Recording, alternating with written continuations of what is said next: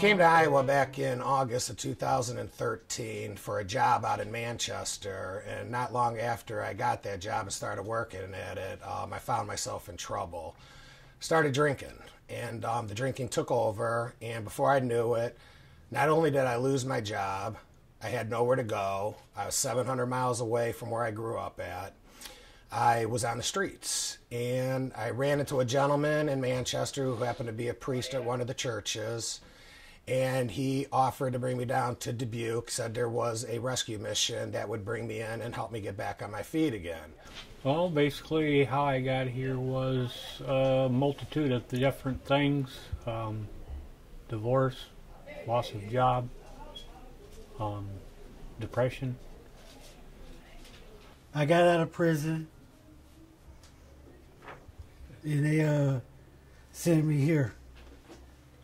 Um, I was robbed. I was staying at the campfield, and I had um, some money uh, removed from my wallet out of my room. I was with this lady for 17 years. Loved her dearly, still do love her dearly. We have our good times and our bad times, our ups and downs no children out of the relationship, but we still had fun.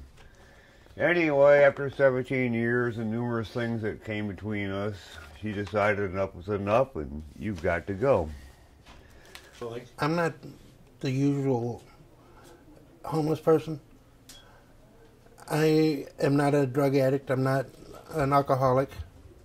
Basically, I'm here because I lost my um, home, my license, and my um, job all in the same day. My name is Rick Mihm, and I'm the executive director of the Dubuque Rescue Commission. Welcome, and uh, here's a little bit of the reasoning and thoughts behind uh, what we're doing as a project here at the mission with uh, some of the men who live here. One of my favorite um, pieces on NPR, National Public Radio, is StoryCorps and it uh, documents uh, between family members, friends, uh, sometimes not even acquaintances that just happen to meet under circumstances, uh, their stories in a very brief three minute format. And I was thinking of that and how much I enjoy listening to people's stories and do so much story listening here at the Rescue Mission that perhaps we could record in a similar way the men who live here and their stories. I was pissed off that I lost my apartment and over a girl. And so when they came to arrest me, I just spit in his face. I never do that again because I don't want to go back to prison. I was driving for a friend of mine in Illinois, and i I was driving a dump truck for him over there in um, the suburbs of Chicago. Unbeknownst to me, after I had an accident over there, he didn't have insurance on the dump truck, so they took my license for 10 years. For the last 10 years, I've been basically walking the highways of North America for literally from coast to coast. I started one time in California and wound up in Connecticut. After I lost my business, I basically seemed like I lost all my friends. So I was basically by myself. I had no one to talk to. Um, it was, I just didn't know if I could even go on the next day. I was living month to month at the campfield, and I was shorted my monthly rent, so I moved in here. I am not really originally from around here. All my family lives in other states, miles away from here. I had no family, no friends, no nothing around here, no job at the point in time. I had no place to go. So after making a few contacts, they said the Dubuque Rescue Mission. Well, I didn't really want to go to no homeless place. I'm not really a, that type of person, I don't think. At this point in time, I really didn't believe I was actually homeless, homeless. When I think of the New Testament, especially the Gospels, which are the story of Jesus, um, I see there Christ constantly um, meeting those men, women, children on the margins and simply listening to their story. Why are you here? What do you need? How can I help? All I want right now is to get back into society. I just want to um, get a job and get my own place and help my um, help the people around here. This is basically now my new family. And no, I'm not going to be here forever.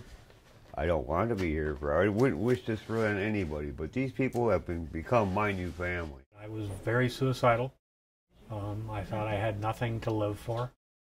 Um, but these people here have helped me to help me realize that there is things out there for me that I can overcome the situation that I'm in. I go see my mom, my uncles. I couldn't do that locked up. So that's the reason why I'm so glad that I'm not there anymore because